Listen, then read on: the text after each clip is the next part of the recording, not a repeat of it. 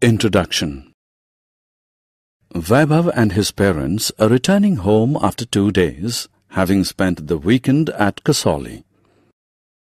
On their way home, they stop at a grocery store to buy a water bottle.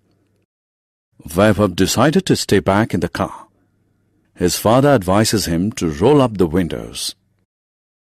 After a while, Vaibhav feels breathless and suffocated. He immediately rolls down the windows of the car to let in fresh air. In this lesson, you will learn about air and its importance. Objectives At the end of this lesson, you'll be able to state the characteristics of air, explain the importance of air for all living beings, list the uses of air.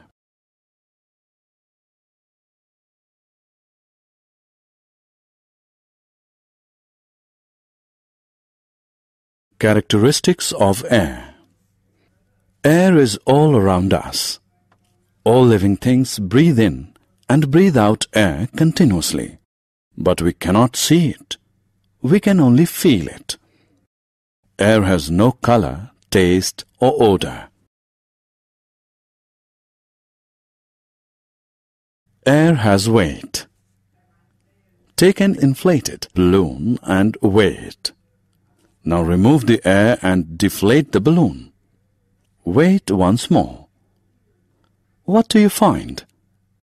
The balloon had more weight when it was inflated. This proves that air has weight. Air fills space. Take a balloon and blow air into it. The balloon expands in size. Now prick the balloon with a pin. What do you see? The air inside the balloon escapes through the hole. The balloon becomes flat. This proves that air fills space.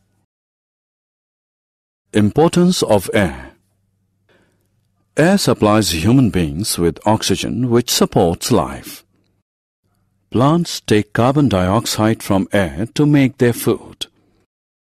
Animals also depend on the oxygen present in the air for survival.